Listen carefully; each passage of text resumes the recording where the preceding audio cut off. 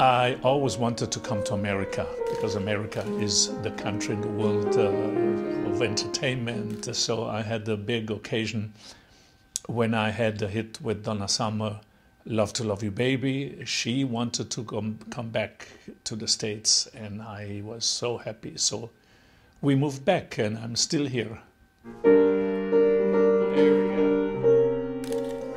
I had a relatively easy way into the movies. Uh, I had that big hit with Donna Summer called I Feel Love.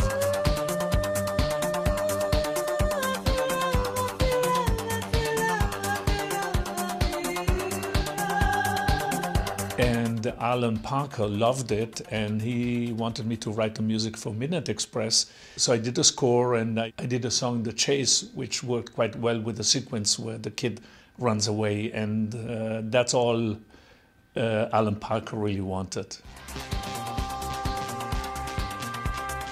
Disco, uh, my kind of disco started in 76 uh, with, uh, again, with Donna Summer and uh, disco became quite big. I had several number ones, and but then in the early 80s, uh, the disco word uh, and the disco movement kind of uh, faded away. The disco word became almost uh, a bad word. But lately, disco is again in. Uh, I play all my songs, all my disco songs, and people know and people love it and they know the songs, they sing with it, and it's quite amazing.